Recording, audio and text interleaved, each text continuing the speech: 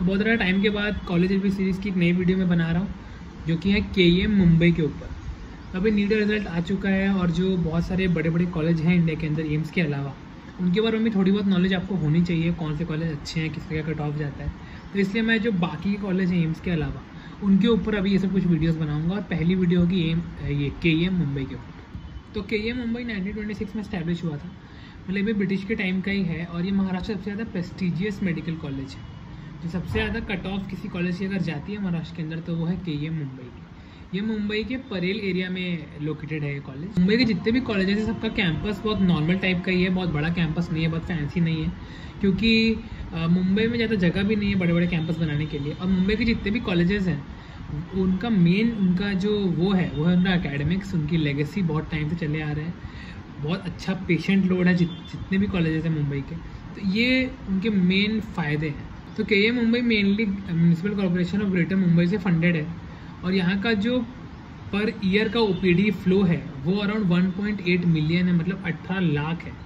और इन पेशेंट जो फ्लो है वो 85,000 है एनुअली क्योंकि तो बहुत ही बड़ा बहुत बड़ा पेशेंट फ्लो अलग अलग तरह के पेशेंट्स आते हैं वहाँ पे। महाराष्ट्र के अलग अलग गाँव से भी पेशेंट्स आते हैं के ई में अपना इलाज करवाने के लिए। तो जो स्टूडेंट है, उसको बहुत तरह के पेशेंट्स देखने मिलते हैं। के एम हॉस्पिटल पहले छोटा था कि बहुत पुराना था, लेकिन अभी उसको रेनोवेट करके बहुत बड़ी बिल्डिंग बना दी गई है, एक न्यू के एम बिल्डिंग है।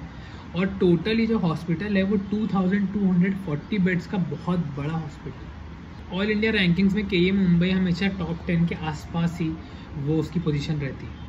के एम कॉलेज की fees around five to five point five lakhs है। ये पूरे M B B S course की बता रहा हूँ, जो चार साल हैं उसके। Five to five point five lakhs तो के एम कॉलेज का टू में जो कट ऑफ़ गया था, वो था।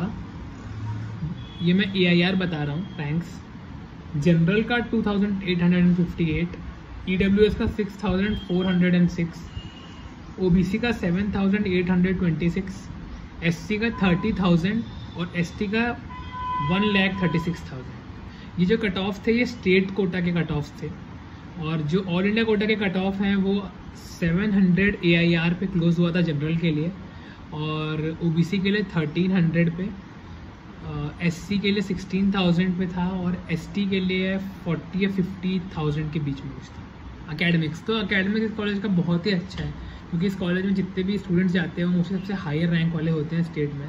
इसलिए जो आसपास का इन्वायरमेंट होता है वो भी बहुत ऐसा स्टूडियस टाइप का ही रहता है हमेशा। जो यूनिवर्सिटी से एफिलेटेड है ये college M U H S Maharashtra University of Health Sciences तो उसका जो यूनिवर्सिटी एग्ज़ाम होता है हर साल तो उसमें ऑलमोस्ट हर साल का टॉपर के e से ही होता है। तो इसलिए के का अकेडमिक्स बहुत ज़्यादा ही अच्छा है और वहाँ पे जो बेसिक जितने भी टीचर्स हैं, वो भी बहुत ब्रिलियंट है वहाँ के। इसलिए वहाँ का रिज़ल्ट भी हमेशा अच्छा लेकिन ऐसा भी नहीं है कि वहाँ पे सिर्फ़ पढ़ाई होती है, वहाँ पे बहुत सारे इवेंट्स भी होते हैं फेस्ट भी होते हैं फ्रेशर्स पार्टी वगैरह सब कुछ होता है वहाँ पे। और महाराष्ट्र के जितने भी कॉलेजेस हैं मोस्टली वहाँ पे गणेश फेस्टिवल बहुत अच्छे से सेलिब्रेट किया जाता है। तो वो एक बड़ा इवेंट माना जाता है, जितने भी कॉलेजेस होते हैं। तो ये थी क्विक वीडियो के ये मुंबई के बारे में। उसके में जो मेन मेन चीज़ें आपको पता होनी चाहिए थी, वो मैंने आपको बताई है इस वीडियो में। और ऐसी और भी वीडियो मैं बनाऊँगा अभी कुछ कुछ जो मेन मशहूर कॉलेजेस हैं इंडिया के, उनके ऊपर। तो subscribe the channel if you want to see them and thanks for watching